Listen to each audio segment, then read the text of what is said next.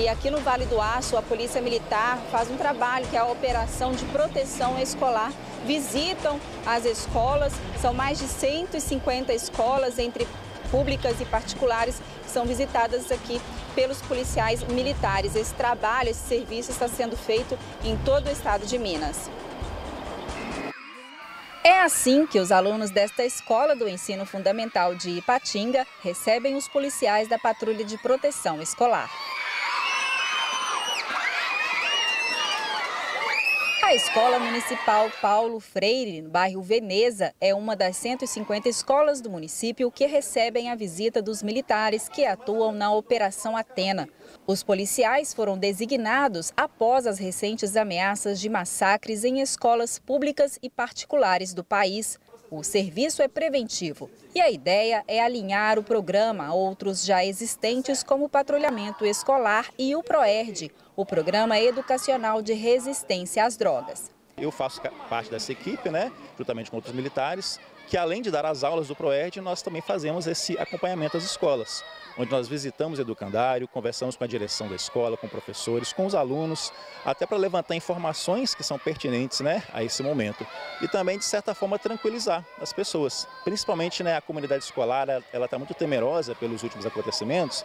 E falar, né, a gente deixar bem claro que a Polícia Militar, juntamente com a Polícia Civil, os demais órgãos de segurança, estamos todos atentos a essa situação toda informação que chega, ela é averiguada, ela é avaliada, né, ela é investigada e até o momento nós sabemos que muitas né, delas, ou se não todas, são fake news.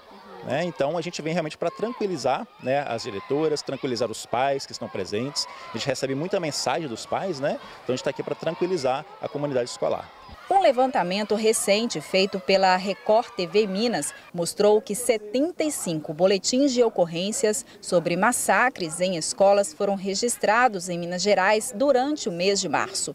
Por isso, a ação é constante e qualquer pessoa em atitude suspeita pode ser abordada pelos PMs. Se houver alguma denúncia, né, aí se nós fazemos a abordagem.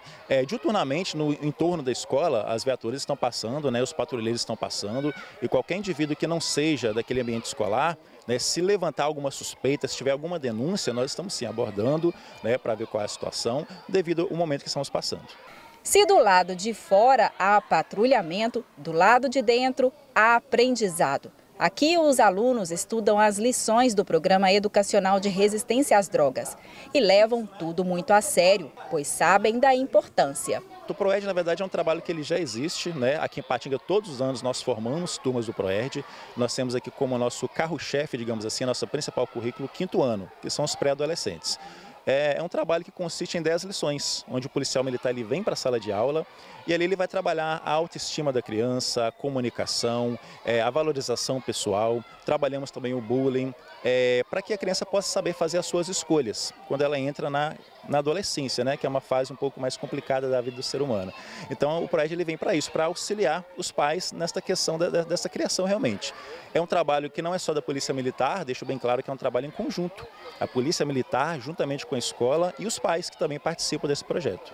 E aqui em sala de aula, a polícia ensina sobre o programa educacional de resistência às drogas. São 10 lições. Hoje, os alunos aprendem sobre riscos e consequências das escolhas, um aprendizado que eles levam para a vida. A diretora da escola espera que toda a comunidade escolar esteja unida para combater a violência. São todos muito importantes, né? O trabalho educacional, tanto da parte da Polícia Militar, quanto da própria escola, né? Que nós é, temos várias modalidades, as crianças chegam 6 às 7 e só sairão às 16h45 né, da tarde.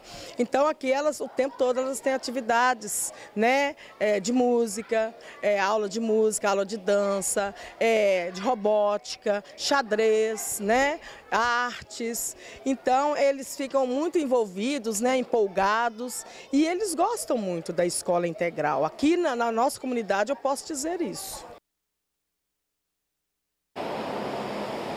Tá aí, então, esse trabalho da Polícia Militar, essa operação de proteção às escolas estão sendo feitas inicialmente nas escolas públicas. São 25 escolas estaduais e 45 municipais. Mas, de acordo com a polícia, esse serviço também deverá ser estendido para as escolas particulares. Eu volto com você aí nos estúdios, Nico.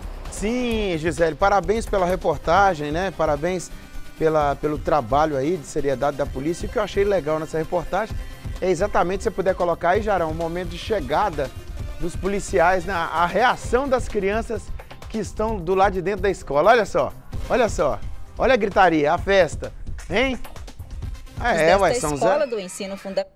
Olha lá. É, a gritaria. A festa.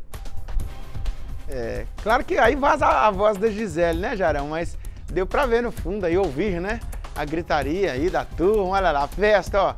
É, tem gente que não gosta que, que a gente chama, né, as polícias de herói, né? Tá? Pessoas que são complexadas com isso, né? É, não gostam da ordem pública. Eu não tenho nenhum problema em, em dizer que são heróis, né? Mesmo porque meu irmão é militar da reserva, né? Tenho familiares militares e eles cuidam da ordem pública. É, é assim que funciona.